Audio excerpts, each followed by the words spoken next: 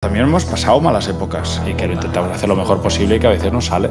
Hay ciertas cosas que no tienen ni una mínima posibilidad de, de cambiar. Te has equivocado, ¿no? Como todo el mundo se equivoca, pero te tienes que dar cuenta y luego rectificar. Lo que ves es lo que hay. Se acabó. No hay más nada que hacer. 30 años, lo que realmente nos ha marcado, se queda ahí. Van poco más de 7 meses desde que se hizo oficial la separación de Shakira y Piqué, y tan solo una semana del éxito de la última canción de la colombiana con Visa Rap, en la que le lanza fuertes, indirectas, muy directas al exjugador del Barcelona. Sobre la ruptura, se han dicho muchas cosas, pero el rumor que más tomó fuerza fue el de la infidelidad del futbolista hacia la cantante con Clara Chía, una joven de 22 años, de quien se ha dejado ver muy enamorado en las últimas semanas. Por lo que se ha podido conocer, aparentemente, la expareja no quedó en muy buenos términos, pese a que tienen dos hijos en común llamados Milan y Sasha.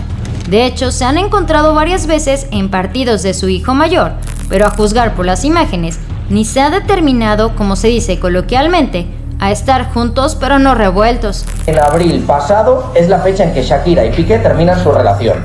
Pero un mes más tarde, Jordi Martin, un reconocido paparazzi español, reveló que el deportista intentó retomar su relación con la madre de sus hijos, pero ella no quiso. Hay que tener en cuenta que al parecer en ese momento, él ya sostenía un romance con Clara. Esta sería la razón por la cual la artista de 45 años de edad habría expresado en su más reciente canción lo siguiente. Yo contigo ya no regreso, ni aunque me llores, ni me supliques. Está en la Music Session número 53 de Shakira y Bizarrap, por la cual aseguran que Clarita y Piqué están en crisis.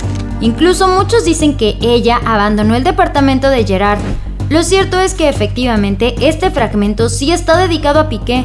Hemos tenido acceso a una información veraz de una persona del entorno directo de Shakira. Esta persona asegura que en abril pasado ellos terminaron su relación, pero que un mes más tarde, Gerard, aún estando con Clara, se arrepintió de haber dejado a Shakira.